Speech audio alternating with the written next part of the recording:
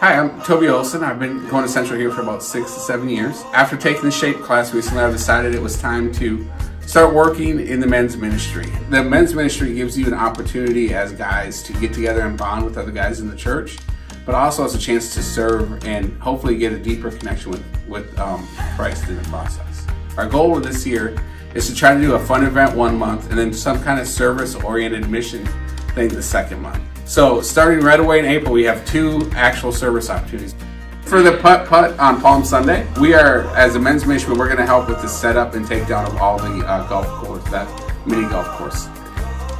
The second one is going to be doing a pancake breakfast on Easter Sunday morning between the early sunrise service and the first service. And then throughout the summer, we have other events that we have scheduled from doing the Smokies game, from doing um, maybe a men's retreat. And then in the fall, we're hoping to start up some small groups on Wednesday Night Live um, just for men. And then from there, um, we hope to continue just to grow the ministry and just start to have monthly events of stuff that everybody can sign up for as we schedule allows.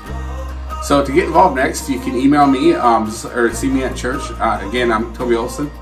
Um, or talk to Pastor Scott or Aaron Barnes, or and we'd be more than glad to get you guys connected up. And um, we'll add you into the men's ministry on Simple Church, and that way you'll get all the communications through the emails that we send out as well. We really hope you'll sign up and get involved, and we look forward to your participation in the men's ministry.